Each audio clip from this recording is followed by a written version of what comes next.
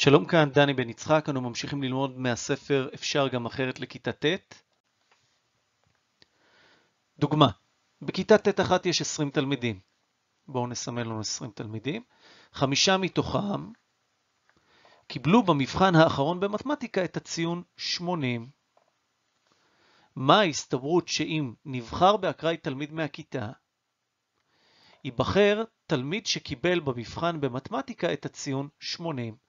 אז שמנו לב שיש לנו חמישה תלמידים שקיבלו 80 מתוך 20. לכן הפתרון הוא שההסתברות שהתלמיד קיבל במבחן את הציון 80 היא חמישה תלמידים מתוך 20, 5 חלקי 20, וזה שווה לרבע. אז אומרים שההסתברות, אם אנחנו נסמן ב-P, היא רבע.